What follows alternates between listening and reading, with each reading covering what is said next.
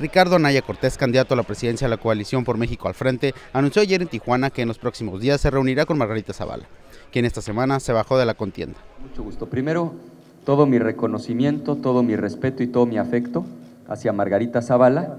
Segundo, como ella bien ha dicho, al final la gente elige en absoluta libertad por quién votar. Ni ella ni yo creemos que con un acuerdo cupular o con una línea se le puede indicar a las personas por quién votar. Y tercero, por supuesto que sí tengo interés de platicar con ella. Hemos acordado reunirnos en los próximos días y cuando esto ocurra, con muchísimo gusto les voy a platicar qué es lo que hablamos.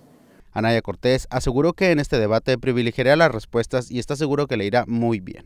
Sí, por supuesto que voy a privilegiar las propuestas en este debate. Lo más importante es que las mexicanas y los mexicanos puedan escuchar con claridad no solo qué vamos a hacer, sino sobre todo cómo lo vamos a hacer.